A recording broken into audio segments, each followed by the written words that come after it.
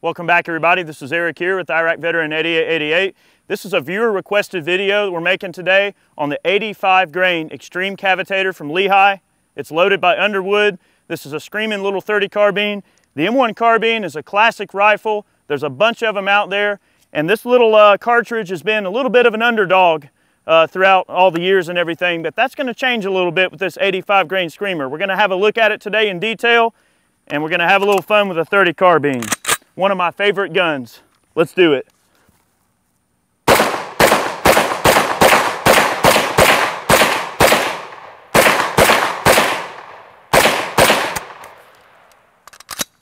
Oh yeah, let's get after it. So guys, the M1 carbine is a timeless rifle and the 30 carbine is a really cool cartridge. It's been around a good while and it's been proven. But uh, Lehigh's definitely giving it a shot in the arm and Underwood is loading this thing to some really cool, uh, crazy speeds. We got an 85 grainer moving pretty good out of the M1 carbine here. There's some other guns in 30 carbine too. The AMT hardballers are out there. Ruger has a, a Blackhawk revolver single action in a 30 carbine. There's probably a couple of others out there that I'm not mentioning, but what we're gonna do is we're gonna shoot a control here. And we've got four layers of denim and two 10% FBI blocks. We've got some uh, early 1970s production M1 carbine ammo. This is Lake City, 110 grain. The 85 and the 110 are moving pretty similar velocities. Uh, so we're gonna give it a try. And then we're gonna run some of the Underwood here. This is gonna be fun. So this is just a control to show you what you can expect from ball ammo and the typical FBI uh, test here. So here we go.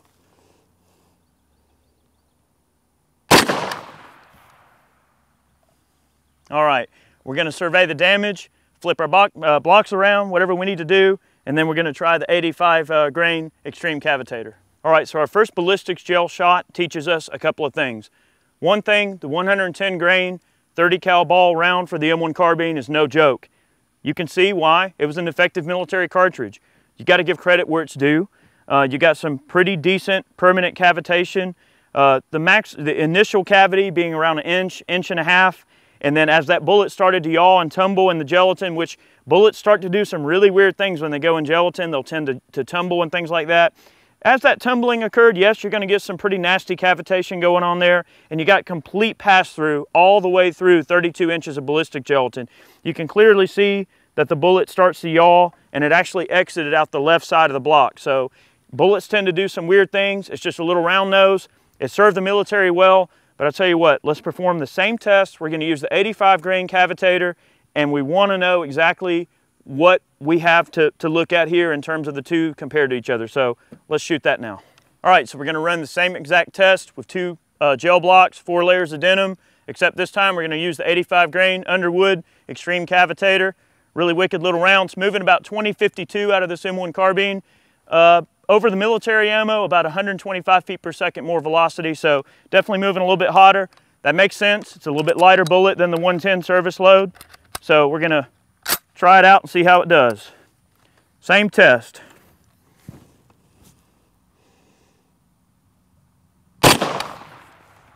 Oh, that looked diabolical. Let's go have a look. All right, well, you can definitely color me impressed on that. That is pretty dang awesome. The extreme cavitator going through, and the minute that it came in this block, just causing extreme amounts of permanent cavities to form in this block. And it, we got about 24 inches of total penetration the round came to a stop about halfway through the second block. Nice straight line penetration. The bullet did turn around, uh, but that's to be expected. But you can see, you know, that cavitation is just insane. I mean, you can see in the slow-mo shot that the, the temporary cavity is insane. The way this block just blows up from that just shock of that hydraulic effect of those cuts of that bullet really calling those fluid dynamics to just get on and cause some really crazy things to happen. And you got to remember, that is a permanent cavity. So the temporal cavity and the permanent cavity are two different things. You wouldn't want to get shot with the 110 ball ammo, but you wouldn't want to get shot with this, definitely, by any stretch of imagination. There's lots of surplus M1s out there. There's companies that are making reproduction M1 carbines in 30 cal. Uh, it's a great little round. I mean, a lot of folks have killed deer with this cartridge uh, over the years and everything. It's a nice lightweight little gun, something that's easy to hang out with and walk around with, good little walking gun. Uh, I tell you what, we're gonna just pick this out of here with the forceps just for fun. All right, so there's our bullet. Retained all of its uh, weight, all of its shape. you could just about just take this bullet if you wanted to and just reload it and shoot it again. I mean, it did not deform at all. So that's pretty cool. And we also saw that through the entire initial 16 inch block, you've got a cavity going through the entire block. Into the second block, there's even a little bit of cavitation in the second block. So you're talking a total of about 21 inches of cavitation with the, with the penetration ended up being about four inches after that with very little cavitation after that. So pretty cool. That's an awesome uh, result. Very fun. Tell you what, we're gonna go away from the gel now that we have a little bit of a baseline. Let's break out some pork shoulders, have a little bit of fun with that. All right, we're gonna shoot the ball around again, but this time we're gonna slap a big piece of ham here with a couple of watermelons backing it up. What I'm looking for here is I want the slow-mo to tell me kind of what kind of energy transfer we're getting, like what's getting moved around, what's, what's going nuts here. And granted, we're kind of relatively close range, but this should just give you an idea. All right, so here's a 110 grain ball, and then we'll shoot the same test again with the cavitator. Here we go. So that went all the way through the ham, all the way through the watermelons, and then I heard it hit a plate back there behind, and it, it sounded like it hit that plate with a pretty good bit of authority. So uh, that's interesting. Let's have a look at the damage. All right, guys, well, there's really no surprise there. 110 grain ball was no slouch. You have to call it what it is. That's some pretty impressive penetration. A lot of people think that an M1 carbine ain't gonna penetrate anything, it's not gonna hurt anything. Believe me, at combat ranges, you know, 50, 60, out to 100 yards. The M1 carbine is a really, really deadly contender. If you understand its limitations and what the cartridge is designed to do, it'll certainly do it. But let's do this exact same test again, but this time, let's run the cavitator, we'll compare the shots, and see if we got some uh, gratuitous uh, nasty going on here. Let's do it. All right, guys, same test with the 85 grain Underwood Extreme Cavitator. Let's go for it. What we're looking for here, I wanna see if we get a little bit more gratuitous stuff going on. Here we go.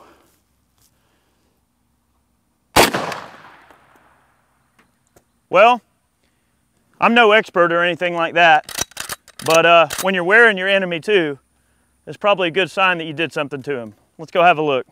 All right, we got some pretty visceral results there on old Wilbur. Uh, we saw that the round went in and uh, it, it, opened up pretty good. I mean, we were wearing pieces of that pig way back there in terms of just the chunks that are blown out. And you can see I hit the, the each of the hams in exactly the same spot. The ball round, while impressive, it just didn't have the wow factor that this cavitator did because you saw it opened up the top here and, and just really punched through and just caused all kinds of nasty damage. Maybe not super scientific, but cool to watch.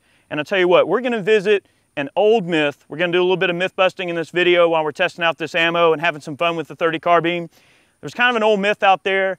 You know, some of the old vets say, oh, well, uh, you know, a, a 30 carbine won't punch through wool coat, the enemy's wool coat. Some, some of the troops might have complained, oh, well, at longer ranges, you know, this thing's just not gonna punch through. Well, we're not gonna do it longer range, but I'll tell you what, we're gonna step it up and we're gonna get some like obscene amount of layers of wool coat that we're gonna cut up and let's shoot some gel blocks and have some fun with this cavitator.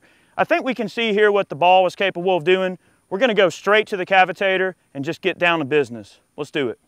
Okay, here's the scenario. You're sitting minding your own business and the enemy comes over the hill and he's wearing 10 wool coats. He heard about this whole wool armor thing and he doesn't know what to think. So he's like, you know what, if I wear 10 wool coats, he can't kill me. So this is simulating a guy wearing 10 wool coats. This is 10 layers of wool coat and two FBI uh, ballistic gel blocks. I don't think this has ever been done. So we're just gonna do it. This is 110 grain military ball and uh, 10 wool coats, nothing but net.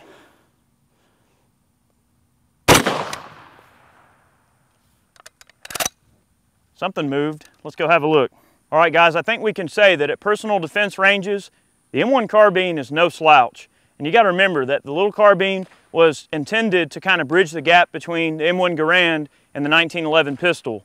So it's one of those deals where they wanted something that had a little bit more firepower and reach than a 1911, but for a troop that they couldn't just issue a Garand to, maybe he was doing another job or something like that. So as a personal defense weapon, you could just about call the M1 carbine really like the first PDW in a way. Uh, and it was really one of the first like military produced, you know, specific uh, task uh, driven guns. So that was really cool. Uh, we went through 10 layers of wool uh, right there. We got some pretty nasty cavitation. I mean, that ball round, uh, we know that it's proven and it's, it's been around. The ball round definitely caused some damage and went pretty much all the way through the ballistics gelatin. So that's some pretty nas nasty penetration there. Pretty good looking cavity. Let's pit the uh, cavitator against it, same test, and we'll move on. Let's do it.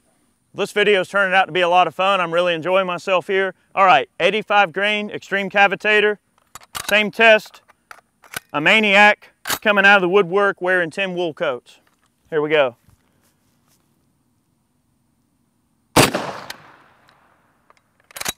That looked pretty, uh, pretty nasty. Let's have a look.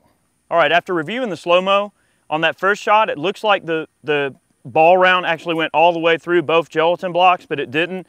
It exited kind of out the side of the block about right here. So for what that's worth, there that is. We got 21 inches of penetration out of the extreme cavitator, punched through all the wool coats, and it looks like the, uh, the exit hole out of the wool is a lot more visceral and scary looking, and also carried a lot more debris and wool into the wound than the ball round did. You know, those flutes that are cut on the nose of the bullet really kind of almost cut as they go through. And the way that that bullet works is really cool because th those air pockets kind of displace and just really cause some nasty fluid dynamics to, to start happening here. So you got a really nasty permanent cavity, which is really not that much different than the ball round, but the permanent cavity is longer than the ball round afforded, and the temporal cavity is definitely a lot crazier looking and everything like that. So we caught the, caught the round here. All right. And again, no deformation, 100% weight retention. You could literally just take that and reload it and use it again if you wanted to. Let's come up with some other crazy things to do. Keep at it. This is fun. All right, now that we can see just how effective this extreme cavitator is an 85 grain from Underwood here, we're gonna put it through a little bit of a hunting scenario. So we got 10% gel blocks that we've put some slices in and we've actually added Synbone, which is a, a laboratory grade synthetic bone medium I know we're getting really nerdy here, but what we want to replicate, we're looking at like a, we're trying to replicate a pass-through shot through an animal. You know, getting in one side through the rib cage, maybe, you know, through its body and out the other side. We're trying to see if we can get like a full pass-through type shot uh, with this particular round. So we're just going to step right on up to the uh, extreme cavitator. And uh, this is going to be fun. I've never done this, but uh, this is synthetic bone, so this is going to be pretty, pretty close to a, uh, a simulated kill here. Ready?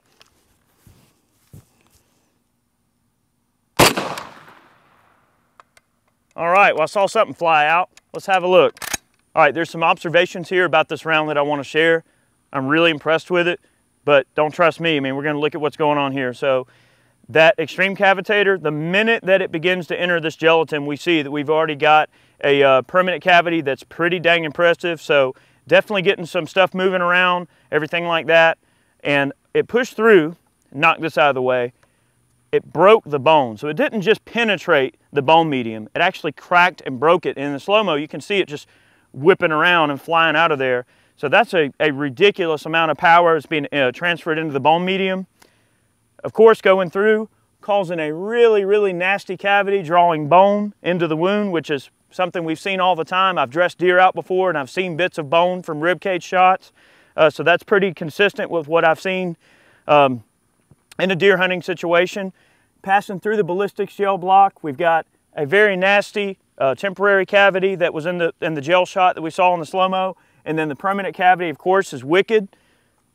Bone on the other side. A little bit more of a clean pass through, okay? Not too bad. It didn't really like split it up and, and make it all nasty, but on the exit side of the bone, you can see the way it peels out like that. That's from those, those kind of flutes in that bullet upsetting that bone and pushing it out of the way. All right, went through the rest of the gel block and it stopped on the other side in about 20 and a half inches of penetration. So for hunting purposes, you know, white-tailed deer or hogs or coyotes or anything like that, you know, I could see where this would be a good bullet for a type of situation where maybe you got a, a small a younger, a younger child that's maybe not quite so big on the upper body strength needs a light rifle to carry around in the woods if they're a good shot with iron sights. Or maybe you got a little wife that weighs 100 pounds and you know, big old deer rifle is going to kick her all over the place.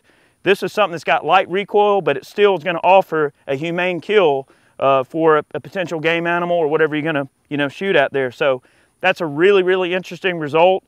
I'm a little surprised, but on the other hand, I'm not because we know 30 carbine is a good contender There's been a lot of deer killed with 30 carbine over the years just because there's so many M1 uh, rifles out there. Uh, you know, obviously people are going to hunt with them. So let's set up a couple of things, have a little bit of fun. We're going to close this video out and shoot some more stuff. Let's do it. All right, guys, we've been having a really good time with the little Extreme Cavitator and the 85 grain from Underwood. Uh, this bullet, oddly enough, they also load it in a little 32 ACP. So kind of stretching the legs on some of these classic cartridges with some good bullet designs. That's kind of the vein of what we were trying to accomplish in this video and kind of show you guys some of the more modern loads you got for some of the classics. We're gonna take out a variety of targets here. I've got a little thing of shaving cream, which will be fun. Uh, we got some syrup, a big old thing of uh, Aunt Jemima uh, pancake syrup, and we got a coconut. I've never shot one of those, so we're gonna see what we got going on there. All right, let's do it. Here we go.